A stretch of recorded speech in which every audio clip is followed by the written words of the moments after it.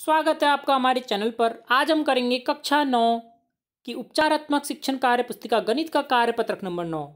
इससे पहले हमने विभिन्न कार्यपत्रक और अन्य विषयों के विज्ञान और इंग्लिश के भी कर लिए हैं। उनकी लिंक आपको डिस्क्रिप्शन मिल जाएगी। तो चलिए स्टार्ट करते हैं प्रश्न नंबर एक से। खंड ए को खंड बी से मिलाना है।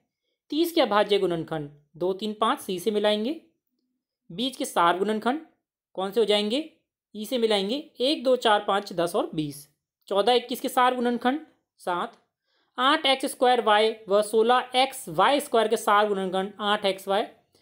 छः एक्स वाई स्क्वायर के अखंडीय गुणनखंड क्या हो जाएँगे? दो, तीन एक्स वाई वाई। बी से मिलाएँगे। अगला देखिए। संख्याओं का गुणनखंड सदैव क्या होता है? ये सभी हो जाएँगे उत्तर, एक व स्वयं संख्या, द हो जाएगा। प्रत्येक संख्या के कम से कम कितने गुणनखंड होते हैं? दो होते हैं, ब हो जाएगा। उभयनिष्ठ गुणनखंड का दूसरा नाम सार गुणनखंड होता है, द हो जाएगा। बारह एक्स तथा अड़तालीस के सार गुणनखंड बारह, ब हो जाएगा।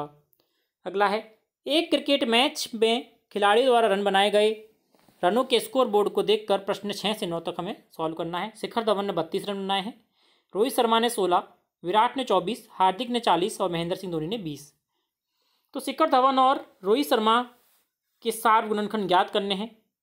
तो बत्तीस और सोलह का सार गुणनखंड हमें क्या मिलेगा? चार और आठ। महेंद्र सिंह धोनी के रनों के सार गुणनखंड क्या हो जाएँगे? बीस हैं तो एक, दो, चार, पाँच, दस और बीस। ऐसे खिलाड़ी का नाम बताएँ जिनके रनों का सार गुणनखंड बीस है।